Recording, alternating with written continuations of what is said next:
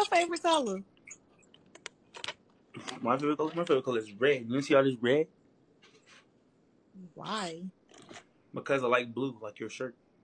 That's why. But you just said it was red. No, I didn't. I said it was blue.